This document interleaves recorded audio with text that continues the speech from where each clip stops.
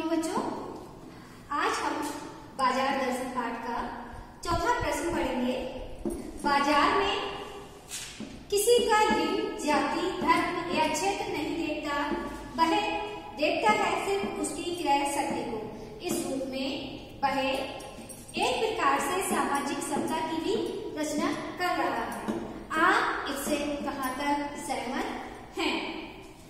तो बाज़ार में सभी जाति धर्म और लिंग के व्यक्ति आते हैं और वे अपनी अपनी आवश्यकता के अनुसार वस्तुएँ भी खरीदते हैं व्यक्ति की महत्ता उसकी क्रय शक्ति पर निर्भर करती है न कि जाति धर्म व लिंग विक्रेता उसी ग्राहक को महत्व देता है जो अधिक खरीदारी करता है इस दृष्टि से जाति धर्म का भेद मिटाकर बाज़ार सामाजिक समरसता की रचना करता है। इसलिए कहा जा सकता है कि बाज़ार में सामाजिक समता की भी रचना होती है, क्योंकि बच्चों, बाज़ार में सभी धर्म, सभी लिंग, सभी जाति के लोग आते हैं